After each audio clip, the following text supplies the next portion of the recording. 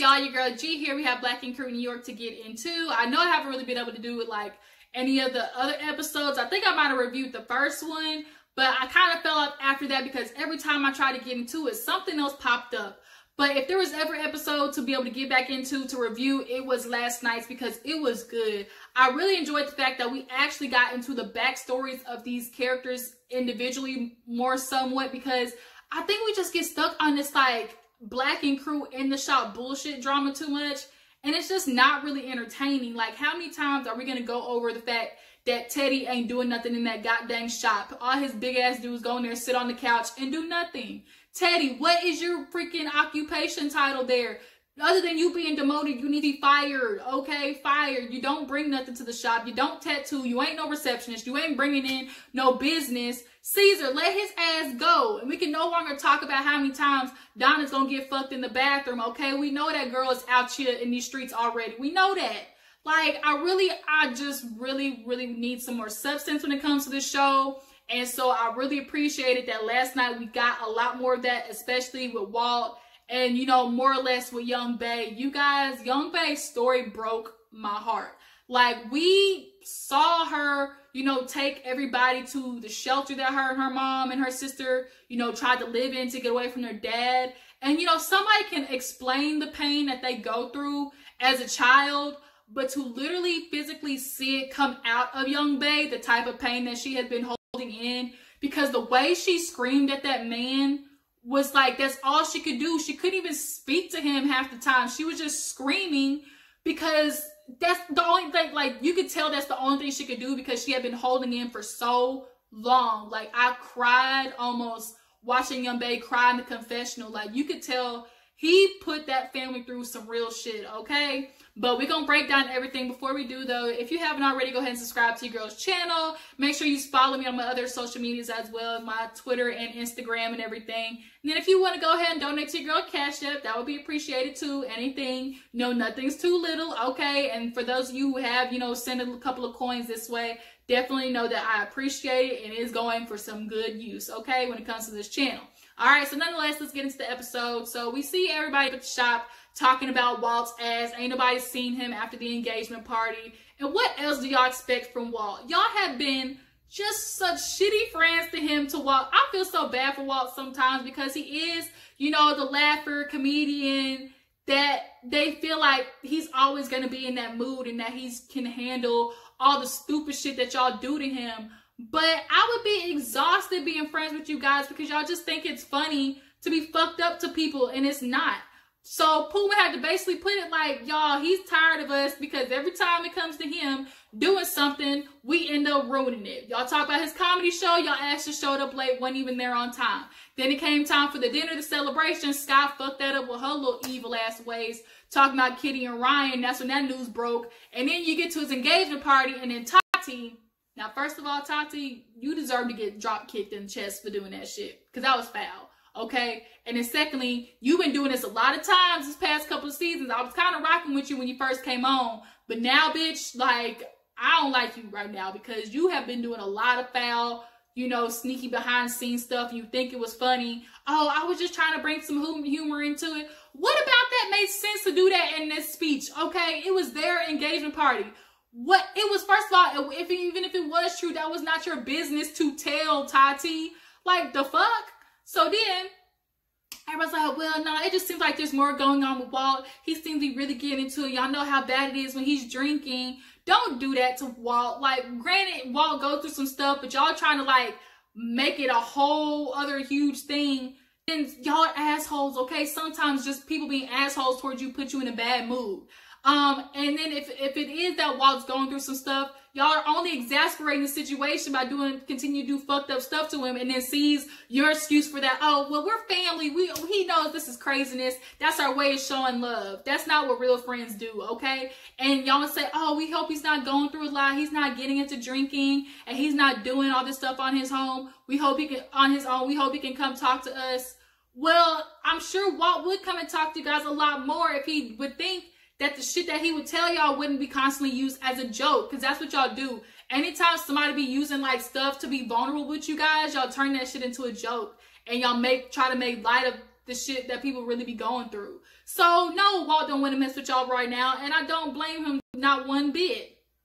So Bae, she ends up talking to Donna about her dad. The dad reached out and said that he wants to get in contact with her uh, while he's in New York. And of course, Bae does not know what to do because it's like, here's a man that literally tormented me all of my childhood to young adult life. And now he wants to see me. I don't even know what, what am I supposed to say to him? Um, and Donna did good consult. Y'all, half the time I like Donna and half the time I don't. See, this type of Donna I fucks with. You know, the type of Donna that can be there and listen and be there as a soft place to land on. You need a good hug because Donna got all that extra cushion for the pushing. You know, you can get a good old motherly warm hug out of her. But all the other times where she be doing all the other fuck shit, you can miss me with that. Um, but yeah, so she is contemplating whether she wants to talk to her dad or not. So Puma, he is trying to go back to the house to see Kwani because he thought he was gonna get some midday booty. Okay, he thought he was gonna get some of that coochie in the middle of the day, some breakfast booty. Okay, or brunch booty, brunch booty rather. Um, but no, he thought he shot her a text to give her a heads up. He was on the way to drop some of that dingaling. But he get home and her ass is still dressed with the kid in the bed. He like, why is he up? She's like, what do you mean why you up? It's the middle of the day. He said, you ain't get my text? She said, uh, no, I've been doing flashcards and a whole bunch of shit. He's like, girl, I tried to come home, you know, get a little Mr. Nasty time, and we can't do. She's like, look, Puma, we got a son, we got kids, we can't do that no more. That's not gonna happen. What a lot of you, you know, people uh, underestimate as you know, young adults or people get married and have kids, all that shit dies. Okay, you to my man, what happened to the spice in our life? What happened to the hot sauce we used to have, Kwani? No, Puma, you don't get to have that no more when you got humans running around your apartment. You don't get to do all the freaky shit like have sex in the laundry room and have nasty sex on the kitchen counter and table and all that type of shit. Y'all don't get to do that no more, okay? So now he's like, we need to, you know, get back to us. And she's like, yeah, Puma, we will. Uh, how about you take out the garbage or wash the dishes or feed the kids and change their diapers? Like, I think men underestimate how much women really value, you know, helping out with housework and if you would help out with the housework, then she would actually have the energy to drop it on your ass, you know, right right before bed. That would make her more turned on to do that when you say, babe, you know what? I already handled everything. I washed the dishes. I took care of the kids. You ain't got to do none of that. You really be surprised with how much coochie would get thrown your way if you niggas would stop being lazy and expecting the women to do all the housework, okay? Um, but he's like, look, babe, I want us to get back to us, so I'm going to take you on a date. She's like, yeah, that's cool, but I'm to plan it.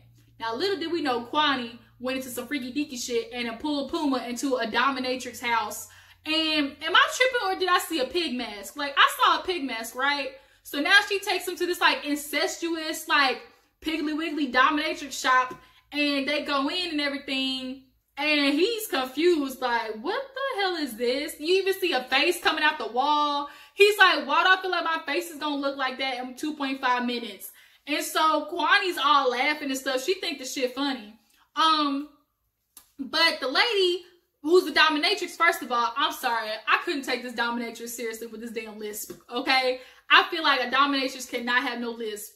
I can't. I know that sounds crazy, but I, I couldn't. I couldn't take her serious. She just didn't look like she had that strong enough, you know, that assertive, that aggressive type, you know, aura about you that you need to have when you a dominatrix. Like I don't take no shit like that type of, you know, aura.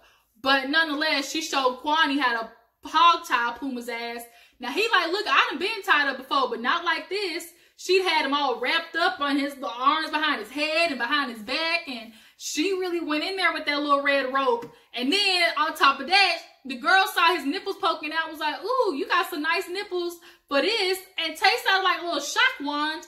And you see the whole like little lightning bolt hit Puma's nipple. The shit was funny.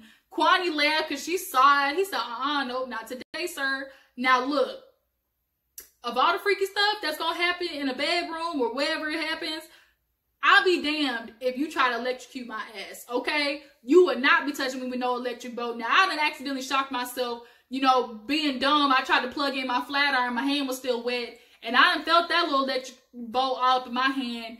I'll be damned if you try to think that is some sexual you know, excitement. Now, I know there's people who enjoy pain in their life, you know, the weirdos who like being, you know, cut up and clamps all up and down the nipples and private nether regions and stuff like that. But the electrocution, uh-uh, you missed me with that.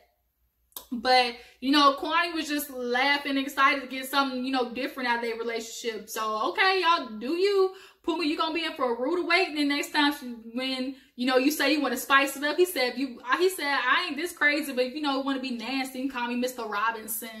I was like, the fuck? So then, um, let's get to Walt because Walt ends up going to his girl. I think it's, it's Jess, right? Uh, he pulls into her apartment. She got a nice apartment. Like, what does she do? Because of all the apartments that we have seen on, you know, in New York and everybody else where they live, hers definitely is one of the nicest, if not the nicest. Um, but she was in there fixing some tea or whatever, and she's telling him how, uh, you know, she going to give him the key, the top key to the apartment and stuff, and he excited, but she kind of changes the tone when she asked him what was going on, especially after the engagement party. And he's like, look, man, I just feel like every time it comes time for me, you know, they fuck it up. They make it all about them. They're not really considerate of me. And I get that. Like, if I was Walt, I'd be so exhausted with that shit. And I think because he always is like the happy-go-lucky laughing when they think he can handle it, oh, he'll just consider it as a joke. But no, sometimes the people who are the most outgoing and laugh the most are the ones going through the most shit. And I get it because I relate to Walt on that level because in my life, I have always been the strong, outgoing, make everybody else laugh. I've always been the one to do that for other people. And typically, that's where that saying comes from. Comedians are literally the most fucked up people. And they typically are because they got to laugh to keep from crying. You got to make yourself laugh to get through the pain of all the stuff that you have been thrown in your life and all the shitty stuff that comes your way. So I relate to Walt on that level. But she brings up the idea of, you know, therapy to him because she's like, look, I don't want you going back that down that dark path. Obviously, he was deal- dealing with the drinking and stuff. And he's like, man, I don't know about all that because, you know, the way I grew up is like, you know, life is life. You'll get through it eventually. Like, it'll make you stronger. It is what it is. And that's not healthy to think like that because when you think, oh, I'll get through it eventually, it'll make me stronger. Sometimes eventually never comes. Sometimes, you know, being strong is not I don't think being strong should be worn as such a badge of honor sometimes because being strong means that you had to be put through some shit and you're just entailed to handle it. And sometimes as a human, just with human, like with how we work, sometimes being able to handle high stress situations is not healthy and should not be healthy. Um, but Walt, you know, being a black man especially, it's viewed as weak and there's such a stigma with going to therapy um, especially, you know, I grew up too. You don't go to therapy. You don't talk about your shit with other people. Like what happens in the house stays in the house. And that's how we grow up, especially as black people, how we grow up. Um, but she finally convinced him to go, and he's doing that for her because he loves her and he, you know, can't be unfair to her in the way that she's feeling. So they found this therapist. I really liked him. I liked how he kind of eased the edge off of it. He's like, you know, I do a little hood therapy over here. Like he was able to take the, oh, the the therapy part of it out. You know, he's like, man, you can just call me, you know, Andre or whatever his name was. And um, I think that took the edge off for Walt. And I think it's a lot easier to talk to somebody when you feel like you can relate to them just on a basic human level. So the fact that they were able to find a black male for Walt to be able to talk to, I think helped him out a lot. But nonetheless, they want to do premarital counseling, which I think is a great idea. A lot of people don't see the benefit of premarital counseling. Y'all always want to wait till after y'all get married and then shit pops off 10 years down the line when, when both y'all been holding shit in for so long. Um, and y'all just pop off on each other after y'all done had kids and a whole bunch of shit going on in y'all's life. And now your marriage is down the drain. Um, but you know, they start getting to infidelity and you know, Walt having to fix, you know, the fact that he fucked around on Jess in the beginning. They split up for six months because he admitted, he's like, look, I was telling her I was ready to be committed and I want to be, you know, with her the rest of my life, but I was still on the street acting single, which is what a lot of you niggas do. Y'all say y'all want a real woman, then when y'all get one and she try to hold you to the standards that should be, y'all flip out, panic, and don't know what to do because y'all be messing out with these bimbo bitches who let y'all run on the street and do anything. Don't really hold y'all to the type of standards that y'all should be. But I really feel like Jess is the woman for him. She makes him reconsider things. She actually makes him think things through. And I really enjoyed the therapy session, watching them do that. Um, and I really hope they continue to go. So on another note of uh niggas who just messed up, we need to talk about Alex because his dumbass, after Donna took him to the museum of sex, he thought uh she thought that was gonna be the best way to ease him into telling him that her and Donna, uh, uh Donna and Tati, they thinking about bumping coochies, they want to start being scissor buddies now. And she thought, you know, the museum of sex was gonna ease up uh I guess the awkwardness of him to, of her telling him. But he, as soon as Tati came up, He's like, yeah, yeah, yeah, you and Tati good friends. Enough about that, but let's talk about us. Now, Alex does start off talking, oh, babe, I want to be with you. We're going to spend the rest of our life together. You know, this is going to be good. Uh, all those words sound like this nigga's about to propose. Oh, no. Alex does the most hood nigga shit and says, baby, I want you to have my child. I want to impregnate you. What? Like Alex, you is not one of you cannot be one of those niggas who think impregnating somebody is what is shows commitment. I can't. Like it's such the hood nigga logic. Oh, I know I want to be with her. I want her to have my baby. That that's the type of shit that niggas do. Right when y'all in the middle of having sex and get good, and it's like, babe, I ain't gonna pull out. I want you. I want you to have my child. I want you to have my seed. And then dumb bitches from the hood think that's oh he really want me. He want me to have this baby. I'ma do it. I'ma have that nigga baby because he love me. Bitch, shut up. Quit being stupid. You, if you don't take that plan B the next day, Donna, for the first time in her life, was actually mature, logic, and saying, no, I'm not going to have your baby. For him to be like, oh, oh, why we, can we do it? And then halfway down the line, you know, you marry me. Like, we'll do the wedding then. Alex, what difference does it make? Four months? That's all? And you want to say, oh, she's like, so I could be fat in our wedding? No, Alex, don't do that. Don't be one of those niggas that think having a baby is the way you're gonna show commitment to somebody. Donna, for the first time in her life, actually made a rational decision. And I'm so proud of her acting mature. She said, I'm not having no baby. I'm 28, no kids until I get a ring. And I'm sorry, other than that, it's not happening. Okay? Now she went to go tell Tati it failed, telling uh Alex the plan about them wanting to be scissor buddies and whatnot all them want to be bump, bumping coochies and everything. Donna, I, what is it about Donna that everybody falls for? She must got the magical puss because everybody and their mama, every time they come to Black Ink, ends up falling for Donna shit. You remember when Donna was able to get Duchess cookies when she went over there to Miami for uh, Sky shit? And then Duchess tried to lie and say that Donna just, uh, took a, a, advantage of her. Bitch, shut up. She was whispering them sweet nothings in your ear, was able to finger that cooch, and you enjoyed every minute. You know you wanted that cat eight because C's wasn't doing it. Um, but yeah, nonetheless, you know, Tati talked to her about explaining to Alex about the whole kid thing and her having the the difficulties last time with her fallopian tubes being taken out and everything. Like, of course, that's another fear of Donna's. Like, what if this is such a high risk and is not good for both of us? Like, that's something they're both gonna have. Uh, so let's get into the last part of the episode, which was Young Bae and her dad. Y'all, that shit was emotional. It broke me down. It truly and honestly did. I have never been so emotionally and mentally drained after watching an episode of Black Ink like that. Okay.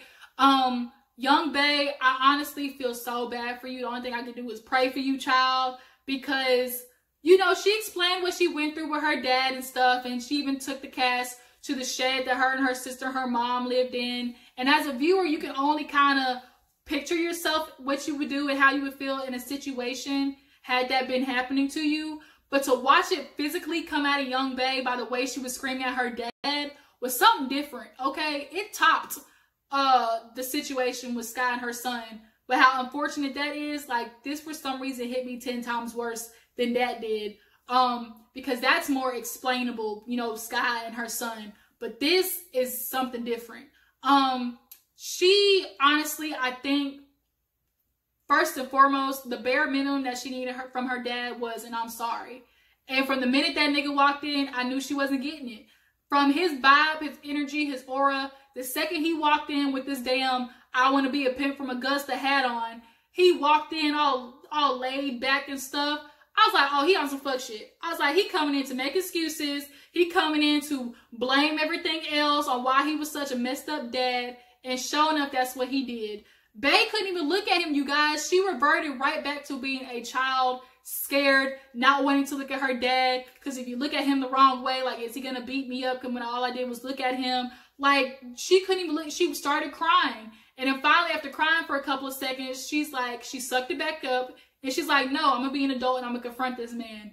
And so, you know, he kind of starts with a little talk like, how are you, whoopty woo. But Bae got right to it. She said, no, like, you need to explain what did me and my mom and my sister do so bad to you? Why were you so angry and mean at us? Why did you put your hands on us every single day of our lives? And his excuse was, oh, I didn't know how to be a dad. Oh, I'm supposed to be provider for this family, but you know, extenuating certain circumstances wouldn't allow me to do it. And I'm sorry, y'all, I don't correlate those two. I do not correlate, I didn't know how to be a parent with physically abusing your child as a valid reason. I don't, because at the end of the day, you don't need to be taught that putting your hands on your child is wrong. You don't need to be taught that. So, no, dad, you don't get to use that as an excuse because regardless of what you go through and regardless of when you decide to have kids, you know that physically beating them up is fucked up and that's not what you're supposed to do. You don't need to be told that or like I just I don't get it. And so Bae flips the table on this nigga. She so quick through that drink and flipped the table and starts screaming bloody murder. Like, no, you need to say I'm sorry. No, why are you pretending and acting like you did nothing wrong? And he was shocked. I think he was shocked himself that that came out of Bae. I don't even think Bae knew that was coming out of her. I think she had a game plan going in, what she was going to say to him, what she was going to confront him about. But those emotions came that out of Bae that she was suppressing for a long time. And I honestly think this needed to happen. It needed to happen to be a moment where Bae broke down and actually let out the pain that she had been, you know, hiding for so long because she came to America running. And the first thing when she came to, she did when she got to America was, you know, work on her career and stuff. So she never really got a chance to just genuinely grieve everything she went through as a child. So she's screaming at the dad He's not taking ownership. And then he wants to get upset talking about how am I supposed to tell you what what's going on with, uh when you're acting this way. So Bae is like, oh, really? I want I wonder how it must feel. But imagine I was growing up and every day dealing with the fact that you beat me up, that I had a bloody nose, that I literally was got a fever from the times that you continuously kicked me. And for the dad to see that come out of Bae, I hope is a wake up call for him. And he doesn't come on his fuck shit next time. The next time he sees Bae needs to be the moment he comes with the real, true, ugly truth of, you know what, I fucked up. I did. And I'm sorry. It's like point blank period. There, there is no if, and, if, ands, or buts about it. But the fact that the only thing Bae could do was scream broke my heart. She couldn't, she was just like, no, let me talk to him. I need to know why. I need to talk to him some more. I got questions. I got questions. I need answers. And so the producers try to get him up, but he got all mad, got an attitude talking about, no, don't touch me. And so she flips the table back over and was like, okay, let's talk. Let's talk. Explain. What was it? What did we do to you? Were all three of us crazy? All three of us, you know, my mom left, my sister left, then me. So all three of us are lying. Like, Bae was not going to get nothing else out of it other than you know that man making excuses and then he wants to be like well no matter what i say you're not gonna listen you damn sure you know what she wasn't gonna listen and you need to understand that was gonna have to be okay because at the end of the day what was needed in that moment was for young Bae to finally get all that shit out of her system. And that's point blank period. She needed to let it go let it out of her because she had been holding it in for so long. Because uh, is the first time she's seen you since all that shit happened. So yeah, she's not gonna listen to you, and that's what you to be as a dad for the moment was for to be her punching bag, and that's the least you owed her because for all her childhood she was your punching bag. So that's what you owed her at the least, okay? But um, but he ends up getting up after the producers make a move, and you know it just ends with her crying in the confessional and the way she just broke down sobbing in the confessional, y'all, I ain't never felt nothing like that. And I can only pray that, you know, this is healing, a start of a healing for young Bae. Um, and that's where the episode ends. So y'all tell me what you thought about that. How did that, that affect your emotions? Um, for the preview next week, this nigga go take off running. He quite literally is running from his, you know, his duties as a dad and from his emotions because my nigga, you fucked up, and that's that's all there is to it. And you gotta understand those scars are gonna live with Bae the rest of her life, and you couldn't even say I'm sorry. That and that was the first thing that should have came out your mouth. But no, you want to go take off running your little Asian ass. Got these people running around New York. Go get your ass stabbed. You ain't from New York, okay? Um, but then we see they end up confronting Nine Mag at the Philly, uh, the Philly convention. And of course, that's gonna be really awkward. So we're gonna have to see how that plays out next week. But y'all tell me what you thought about the episode. I appreciate you for tuning in. Don't forget to subscribe to your girl's channel.